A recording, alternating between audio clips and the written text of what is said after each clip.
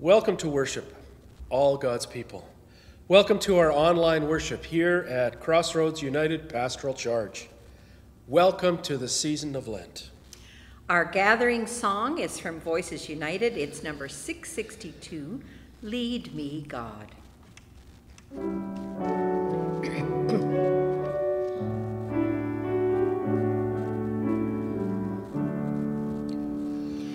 Lead me, God, lead me in your righteousness. Make your way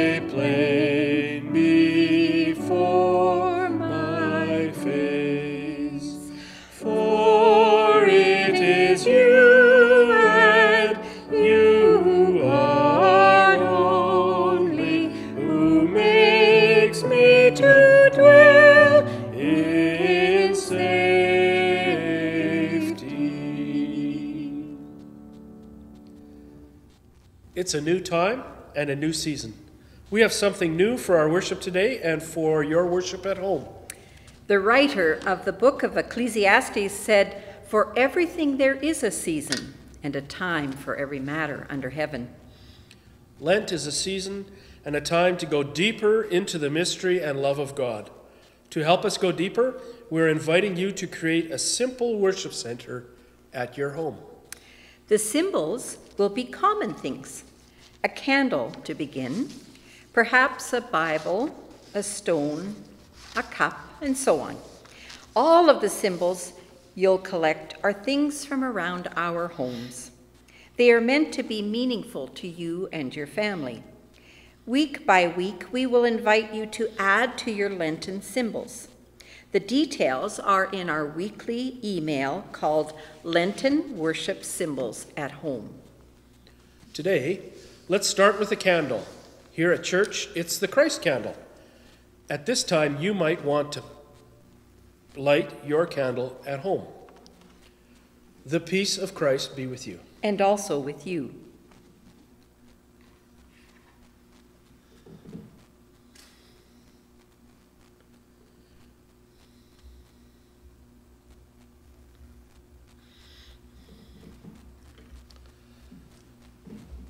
May the light of Christ shine brightly in your life. And also in yours. Join us in our call to worship. Come, people of God, return to the one who gives us life.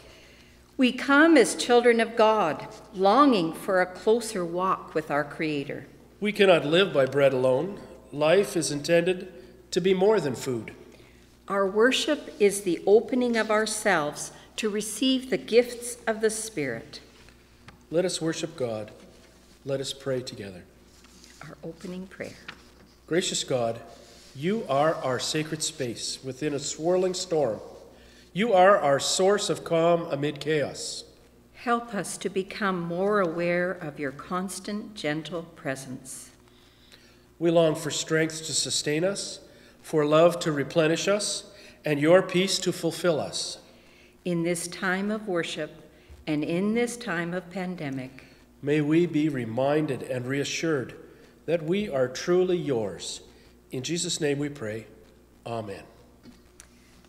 join us as we sing the hymn number from Voices United 222 Come, let us sing.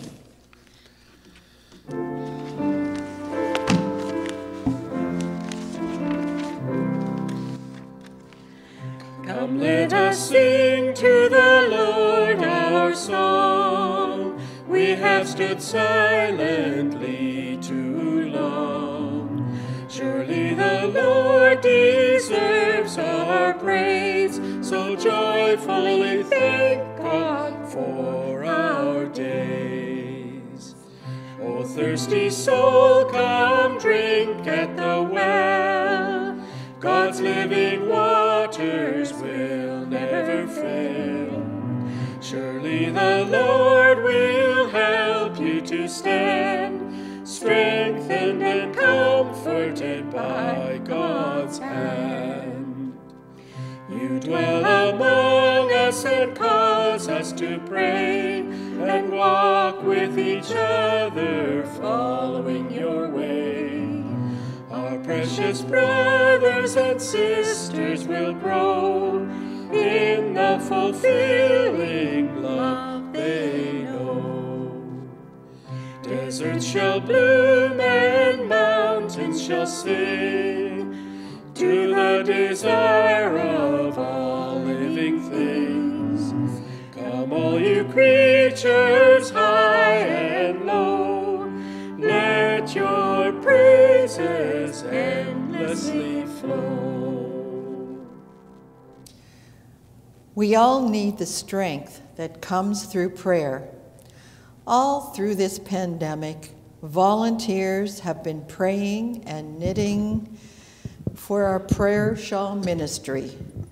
This ministry continues to share shawls, prayer pockets, and twiddle muffs for seniors in personal care homes. We've had a request from palliative care for a number of prayer shawls. It is our privilege today to bless these knitted and crocheted creations that they may go out and become a blessing to others. Through the ages, God has moved the people of Christ to share a ministry of comfort, support, and prayer with all who are in need of God's healing presence. With gratitude for these prayer shawls, we gather to bless and dedicate them in God's name. And our scripture lesson Comfort, O comfort my people, says your God. Speak tenderly to them. From Isaiah 40.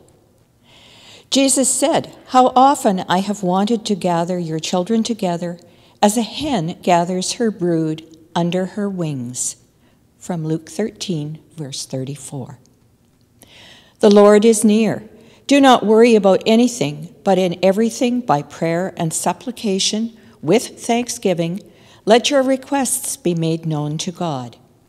May the peace of God, which passes all understanding, keep your hearts and minds in Jesus Christ. From Philippians 4, verses 5 to 7. This is our blessing. Holy God, source of all inspiration and beauty, we thank you for creative hands which fashioned the gift of prayer shawls, knitted and crocheted for the comfort of others. May God's grace be upon these shawls. Warming, comforting, enfolding, and embracing. May these mantles be a safe haven, a sacred place of security and well being sustaining and embracing in good times as well as difficult ones. May the ones who wear these prayer shawls be cradled in hope, kept in joy, graced with peace, and wrapped in love. May these shawls be a symbol to all of the community of care to which we are called. May they strengthen the ties that bind our hearts together in Christian love. Amen.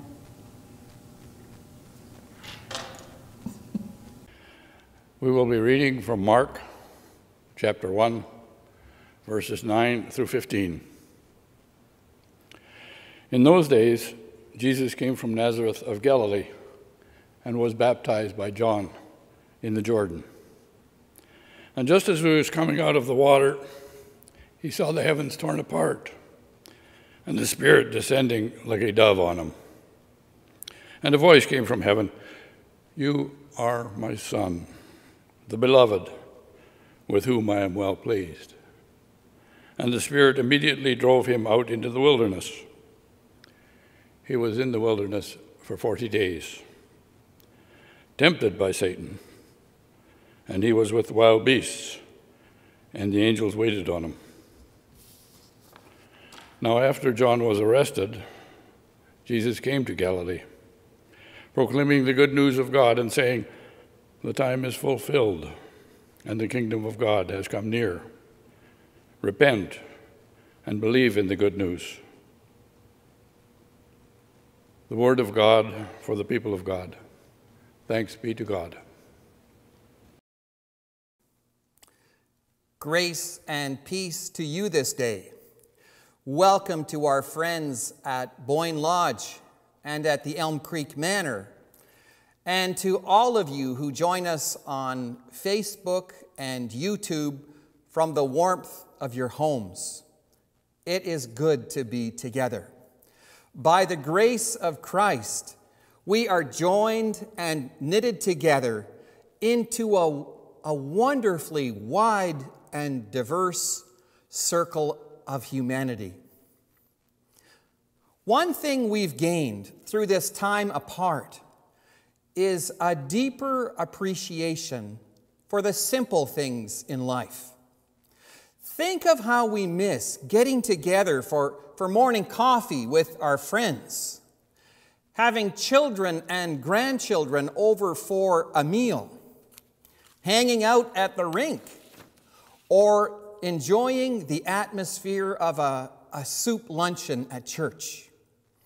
You know it's bad when the highlight of your week is the trip to the post office. We'll never take such ordinary meetings for granted again.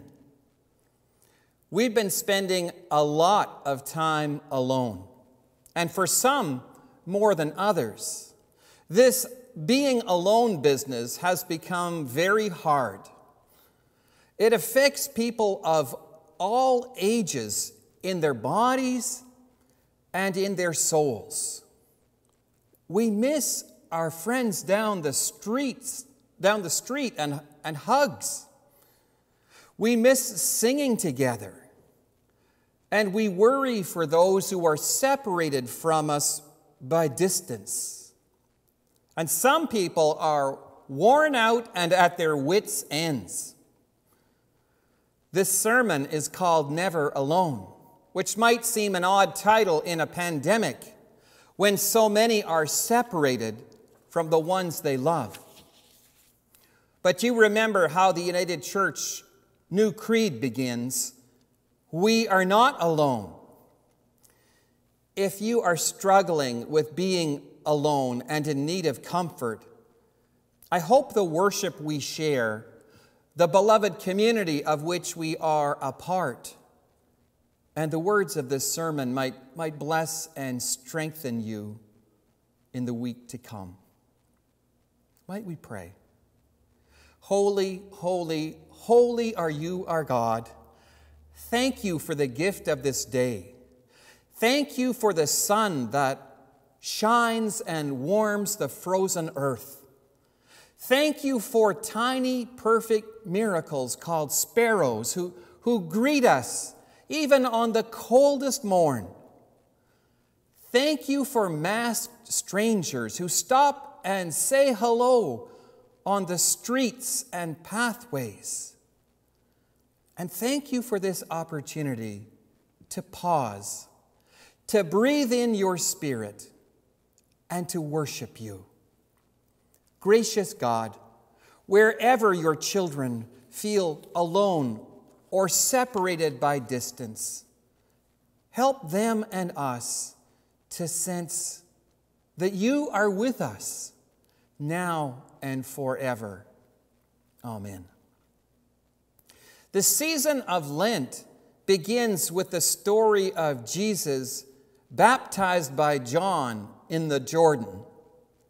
Jesus saw the heavens crack wide open and heard a voice calling out, You are my beloved Son. With you I am well pleased. Walking away in, in awe and wonder from the banks of the Jordan, the, the Spirit immediately drove Jesus into the wilderness. He was in the wilderness 40 days tempted by Satan, with only the wild creatures as his companion.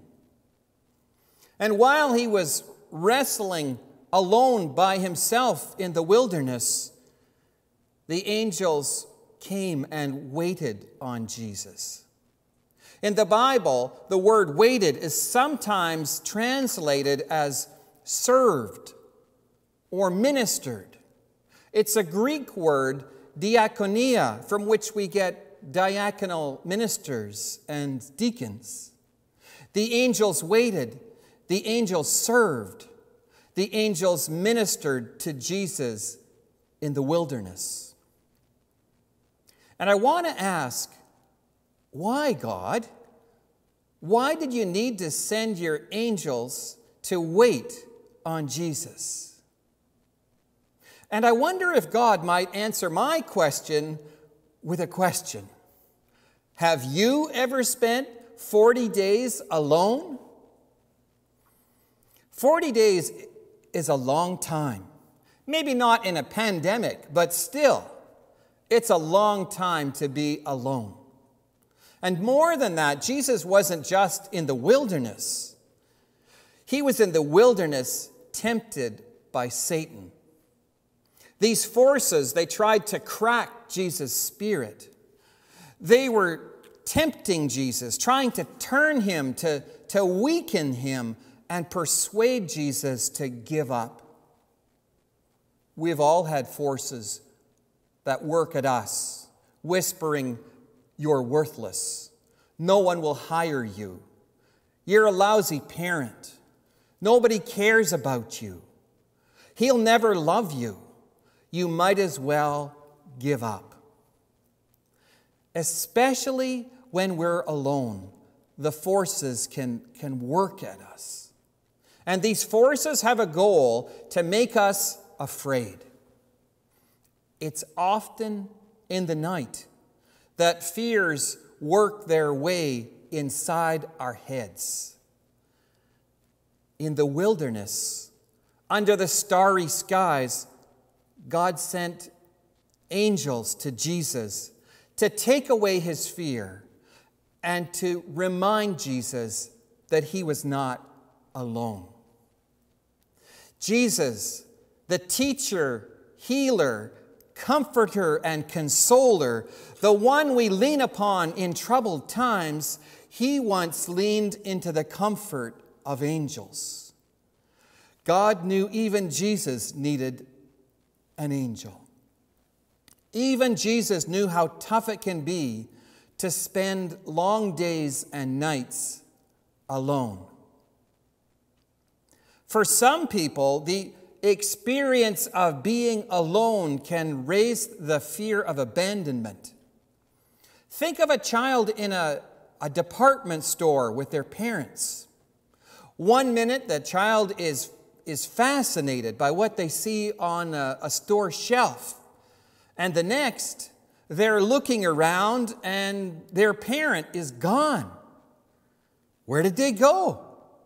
The child looks and looks, and all they see are, are these strange faces.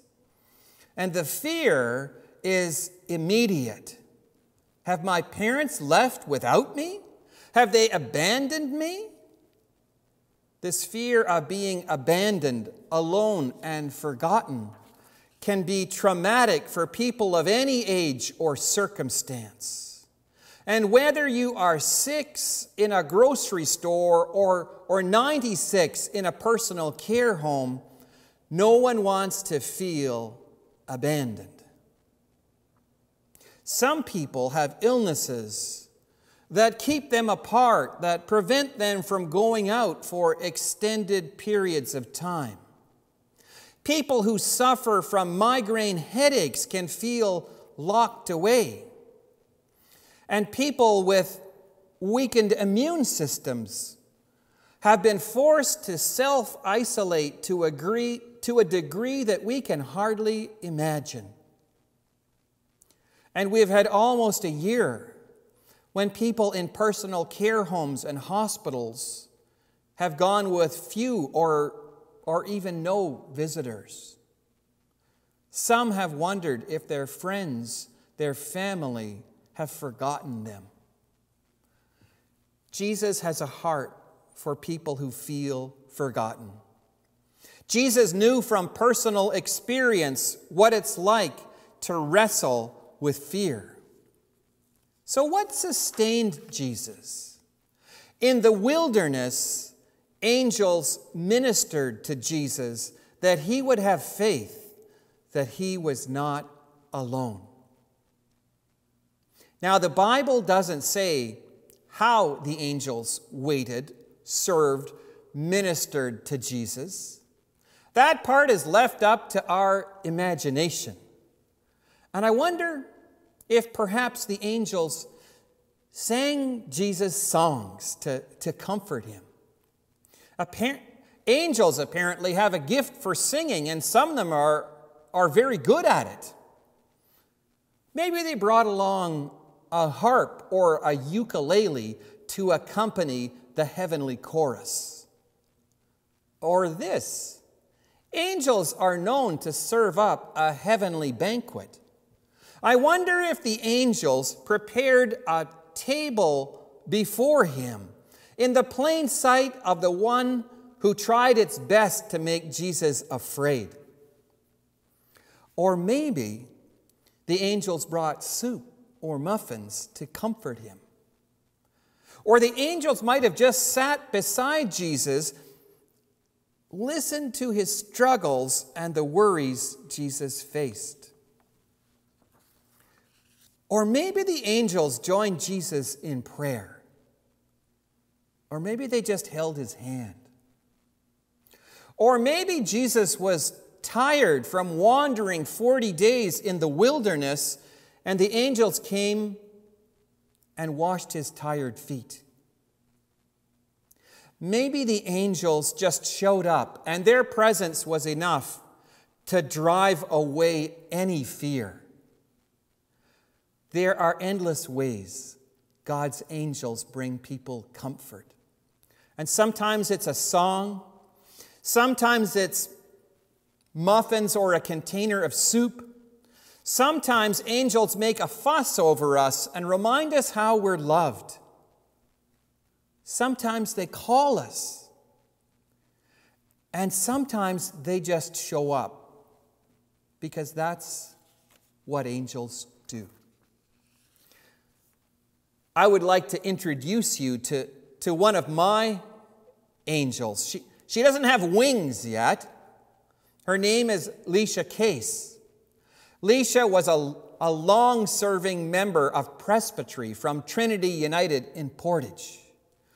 And Leisha was assigned to me by Agassiz Presbytery to, to you know, to, to look out for me. For years, Leisha would call. And I am certain Leisha had my name written in her date book with a note call Harold. And Leisha would call and ask, How are you doing, Harold? And we would have conversation, and she would check in with me. She always sent the most thoughtful cards, especially at Christmas. Leisha is a, a faithful layperson and a wonderful pastor to pastors. She waited on me, ministered to me, and her calls always felt like they came from God's servant church who knows and cares about all sorts of people. Are you in a wilderness place where you feel forgotten or even abandoned? Maybe it's been a long time since you had the, the human contact you crave. Take heart. Jesus knows the fears you face. And more than that, Jesus has done something to strengthen you and to take away your fears. When you were baptized, you were joined with Jesus in God's covenant and promise that holds every one of us. Through baptism, you are claimed as God's own and given the name God's beloved child. And all the whispers you think you hear in the night that want to drag you down, don't listen to them. Don't believe them. As the baptismal hymn tells us, God's promises are true. God will not abandon you. You are gifted, called, and chosen. You belong to God. Maybe you know someone waiting for their angel to come. How might you connect with them this week? Angels are God's messengers who comfort and share the good news with God's people. They are part of the diaconia, that company of faithful people who, who wait on, who serve, and who minister in Jesus' name. So, whether you are waiting on an angel or whether you are an angel in waiting, be confident in the Lord. Be not afraid. L- live out your high calling in Jesus Christ. And may God's angels sing songs and bring you comfort as you walk this Lenten journey. Grace and peace to you in the strong name of Jesus who comes to set us free. I would invite you now to, to join with me in saying a new creed. The words will, will come up on your screen. We are not alone. We live in God's world. We believe in God who has created and is creating, who has come in Jesus, the, the Word made flesh, to reconcile and make new, who works in us and others by the Spirit. We trust in God. We are called to be the church, to celebrate God's presence, to live with respect in creation to love and serve others, to seek justice and resist evil, to proclaim Jesus crucified and risen, our judge and our hope. In life, in death, in life beyond death, God is with us. We are not alone. Thanks be to God. Up next in our service is something new and what we're calling a ministry of justice moment, shared by Karen Jaden. St. Matthew's Maryland Community Ministry in downtown Winnipeg is one of three ministries supported by One Just City. Our gifts to mission and service help One Just City respond with love and compassion when our neighbors in inner city Winnipeg are hungry, unsheltered, or need a place, a warm place to build community. The recent extreme cold, on top of the extra challenges with the pandemic, make this ministry more challenging and more necessary than ever. When we hear about the suffering of some of Manitoba's most vulnerable citizens, we want to know what we can do to help. Next week, Josh Ward, community facilitator with St. Matthew's Maryland Community Ministry, will be our guest preacher during worship. Join us to learn more about this vital ministry and ways that we can be partners in building one just city together. Thank you for joining us today. If you know of someone in need of prayer or care, please let us know at the office. Let us gather our hearts and minds in prayer. Let us pray. God of life and love, we thank you that you have made us in your image, lit within us the very spark and flame of your own life, and set us in the heart of your creation, a world of wonders that is our home. Hear our quiet prayers now, loving God, as we name before you and hold in our hearts those people and situations that need your care and call out for your peace. Gracious God, hear our prayer and in your love you answer. Holy One, we thank you that, that we are wondrously made, breathing your very life within us, and that you placed us in communities, within families who care for us and, and who need our caring. Hear our quiet prayers now, loving God, as we name before you and hold in our hearts those who especially need your healing and your life renewing touch.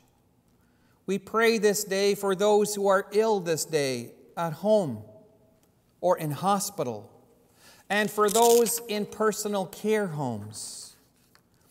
We pray for those who are waiting upon test results or treatment, and for those recovering from surgery.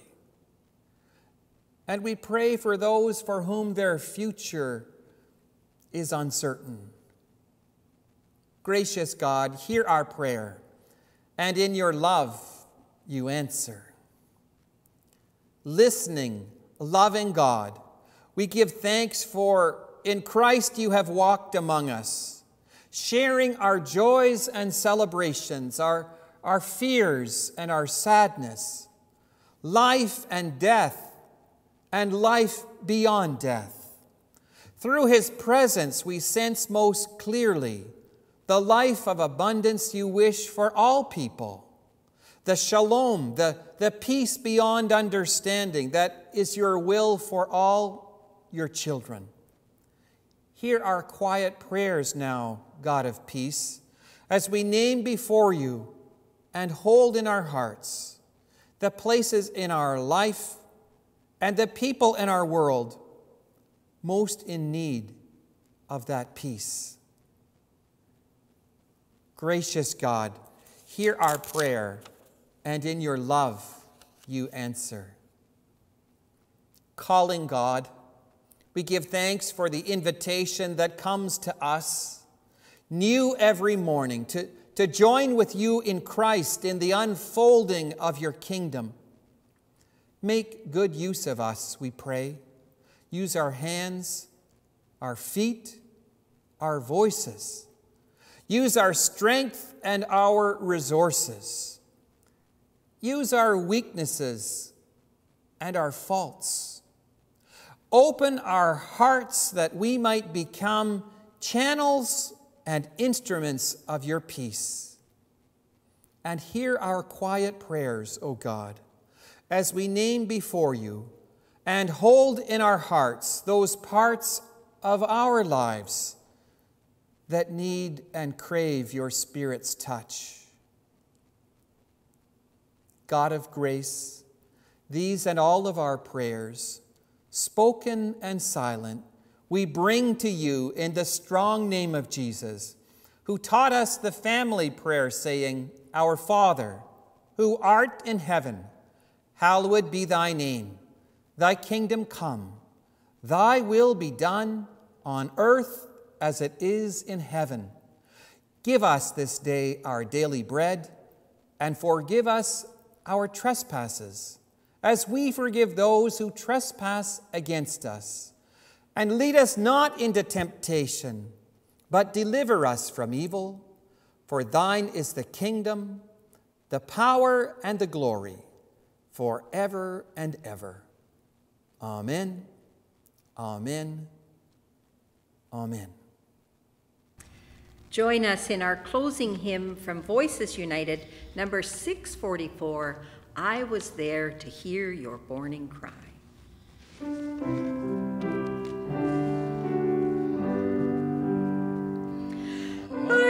There to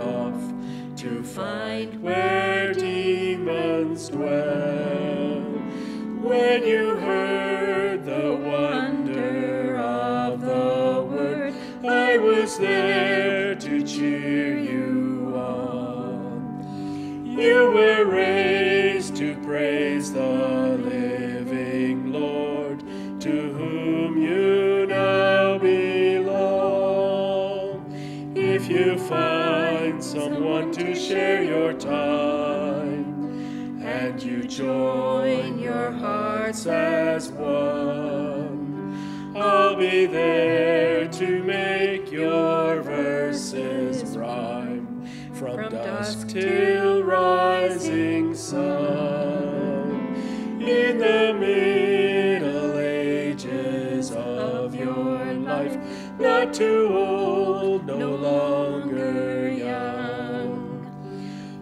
be there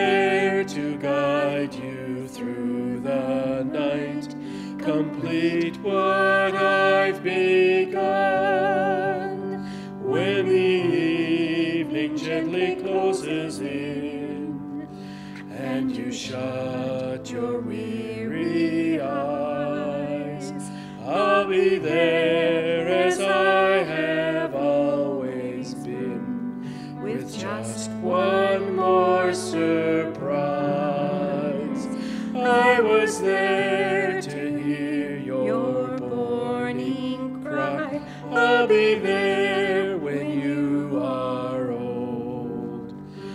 I rejoice the day you were baptized to see your life unfold.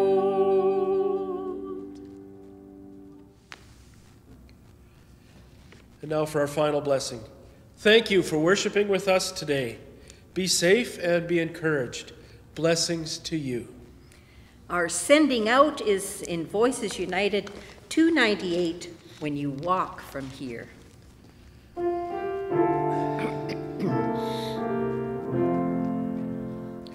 When you walk from here, when you walk from here, walk with justice, walk with mercy, and with God.